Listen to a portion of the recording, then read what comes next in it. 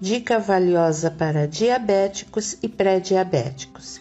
Esses são os melhores chás para baixar a glicose no sangue. O chá que iremos te apresentar são bons remédios naturais para ajudar no controle da diabetes, porque possuem propriedades hipoglicemiantes que melhoram o controle da diabetes. Então, se você sofre com essa condição, vale a pena anotar essas dicas. E se você conhece alguém que tem diabetes, não deixe de compartilhar esse vídeo. Com certeza você vai ajudar e muito essa pessoa. Oi, pessoal, sejam muito bem-vindos a mais um vídeo do nosso canal. Aqui, nosso objetivo é sempre compartilhar dicas, receitas e informações que vão contribuir com a saúde e bem-estar de todos. Então, se você gosta desse assunto, já se inscreve aqui no canal para que você sempre receba nossos conteúdos. E para isso acontecer em primeira mão, ative o sininho das notificações, ok? Já aproveita para deixar o seu like nesse vídeo. Assim, o YouTube vai entender que você está gostando do conteúdo e vai sugerir esse vídeo para muito mais pessoas. Todas essas plantas medicinais que vamos te apresentar ajudam a baixar o açúcar no sangue, mas não substituem os medicamentos para diabetes nem as regras alimentares que ajudam a controlar a glicose no sangue.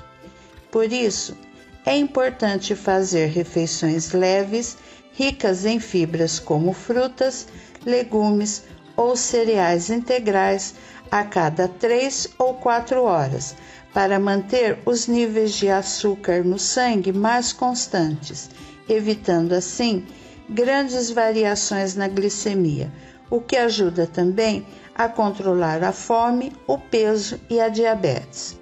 Então, vamos às receitas dos sete chás medicinais que ajudam a controlar a glicemia no sangue. 1. Um, chá de canela.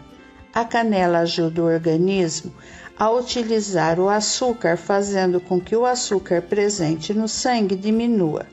Como fazer? Coloque três paus de canela e um litro de água numa panela e deixar ferver por alguns minutos. A seguir, tampar a panela e esperar amornar. Beber o chá várias vezes ao dia. 2. Chá de carqueja. A carqueja tem ação antidiabética, ajudando a manter a glicemia controlada. Como fazer? Colocar 10 gramas de carqueja em 500 ml de água fervente e deixar repousar por 10 minutos. Tomar até 3 xícaras por dia. 3. Chá de pata de vaca. A pata de vaca é uma planta medicinal que possui uma proteína que atua de forma semelhante à insulina no corpo. Essa ação é comprovada em animais e é de amplo conhecimento popular, mas carece de comprovação científica em humanos. Como fazer?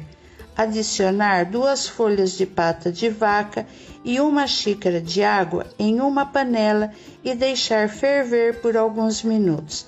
Deixe repousar coe e beba ainda morno duas vezes por dia. 4. Chá de salve. A sálvia contribui para o controle da glicemia no sangue, ajudando no controle da diabetes. Como fazer? Colocar duas colheres de folhas secas de sálvia em 250 ml de água fervente e deixar descansar por 10 minutos. Tomar duas vezes por dia. 5. Chá de melão de São Caetano. O melão de São Caetano tem ação hipoglicemiante, o que significa que baixa a glicemia sanguínea naturalmente. Como fazer? Colocar uma colher de sopa de folhas secas de melão de São Caetano em um litro de água fervente. Deixar repousar por 5 minutos. Coe e beba ao longo do dia. 6. Chá de quebra-pedra. A quebra-pedra contém extratos aquosos que mostram efeito hipoglicemiante, sendo útil para a manutenção da glicemia constante no sangue. Como fazer? Colocar uma colher de chá de quebra-pedra em uma xícara de água fervente. Deixe repousar por 5 minutos, coe e tome ainda morno. Pode-se tomar 3 a 4 vezes por dia.